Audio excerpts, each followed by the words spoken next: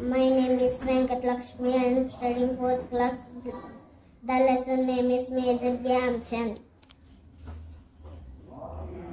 Dhyan Dhyanchand's real name was Dhyan Singh. He was a soldier in the Indian Army. He couldn't practice hockey during the day because he used to be busy on his duty as a soldier. That is why he used to to practice at night in moonlight. It is believed that his coach fondly began to call him Dhyanchan, Chand meaning moon. The name stayed with him. Saturday, 15th August 1936, it was the day of the hockey finals during the Olympic events held in Berlin, Germany. Germany had defeated several teams several teams. several teams to enter the finals against the Indian team. They were they were the hosts of, of the Olympics and they were sure of their victory. All the day before it had rained heavily. The entire field, had become wet, become wet. But 15th August began the last day of the games. It was not possible to postpone the match and further a, a fought, about 40,000 people, including men and women, had get here in the hockey stadium. The match had started exactly and at 11 a.m. No team, including Society, a goal during the first half, First half. first half, and four during the 32 minutes. Ruby Singh scored the first goal, fixing the ball towards the goal post from a difficult angle. Angle. angle in the scored help In the second half. in the second half the match india the match the indian team scored three more goals two of them were scored by the captain of the indian team Dhyanchan.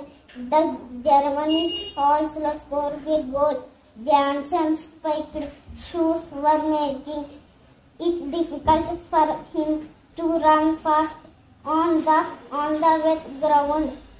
He removed the shoes and the socks and began to run barefoot.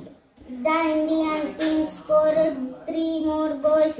The Germany goalkeeper pounded on the Janssen and hurt him, but Danchan was a tour soldier. After a little first he immediately returned to the field and healed the And held the and held the spectators spectators. spellbound with with hi- his game at last. He he scored the last goal of the match just as the game drew to a close. The Indian team had won the medal three three times in a row. It was it was a hat cricket. It was a hat trick. hat trick.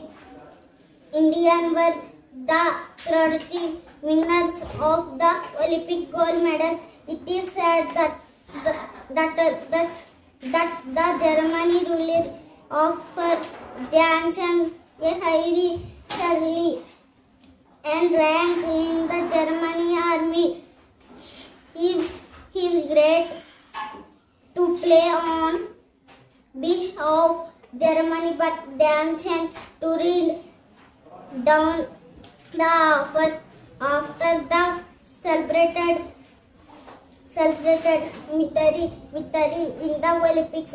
Hilary Hilary award a spare gold medal to Danchan.